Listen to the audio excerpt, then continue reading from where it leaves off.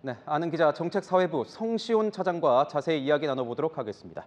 자, 성 차장, 응급실에 파견된 군의관 15명 모두 응급실 근무를 안 하고 있는 것 아니겠습니까? 그럼 이 모레 예정된 군의관 235명 그대로 파견하는 겁니까? 네, 보건복지부와 대통령실에 확인해보니 예정대로 진행한다는 방침입니다.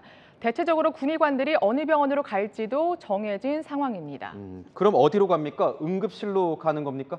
네, 지난 4일 발표 때 8차 파견을 응급의료를 중심으로 하겠다고 밝혔습니다. 그런데 오늘 취재해보니 복지부는 각 의료기관이 판단할 일이라고 밝혔습니다.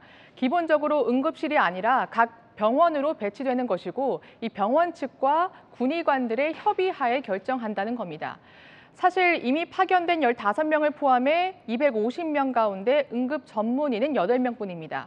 이러한 군의관 파견이 추석 연휴 전 응급실 대란 해소에 도움이 될지는 미지수인 겁니다. 음, 그런데 이번 파견이 8차라고 들었습니다. 그런데 왜 갑자기 지금 문제가 불거진 겁니까? 네, 말씀하신 대로 지난 3월부터 군의관을 파견해왔고 이번이 8차입니다.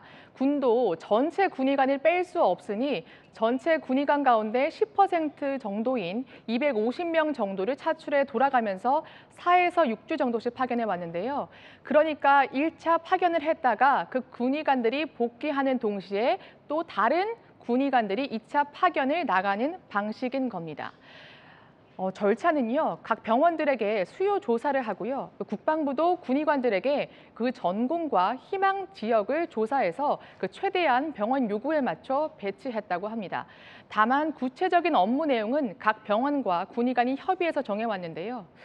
그런데 응급실 대란 우려에 응급실 운영이 어려운 병원 다섯 곳에 정부가 15명을 우선 배치하면서 문제가 불거진 겁니다. 음, 그러니까 현재 상황으로 보면 15명 중에 응급실에서 일하는 사람은 결국 없다는 거 아닙니까? 네, 맞습니다. 그 15명 가운데요. 7명은 응급실이 아닌 곳에서 근무하고 있고요. 8명은 복귀하거나 복귀 예정입니다. 마지막으로 어제 군의관 다섯 명이 도착한 강원대 병원을 저희가 오늘 아침에 확인해 보니 모두 응급실이 아니라 다른 업무를 하기로 했다고 합니다. 음, 왜 그런 겁니까? 네, 서울여대 비대위가 교수들에게 조사한 결과를 보시면 알 수 있을 겁니다. 군의관이 도움됐다 30.9%, 도움되지 않았다 31.8%인데요. 이 일반 진료과도 도움되지 않는다는 의견이 절반인 겁니다. 병원과 군의관들에게 얘기를 들어보면 군의관들은 환자 진료를 최대한 하지 않으려고 한다고 합니다. 자칫 형사 책임을 질 수 있어서인데요. 응급실은 사정이 더하겠죠. 긴급한 환자들이 일차적으로 의사를 마주하고 신속한 처치가 요구되는 곳입니다. 그렇다 보니 병원 측에서도 도움이 되지 않는다고 판단하고 있고요.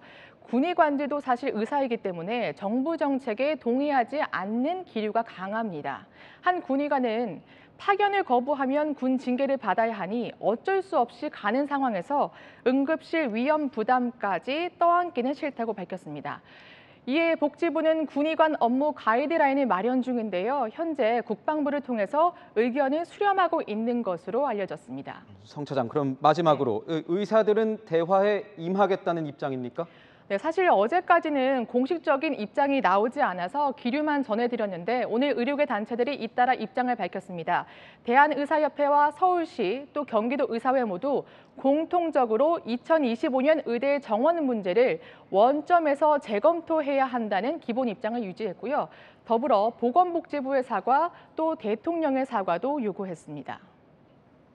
네, 지금까지 아는 기자였습니다.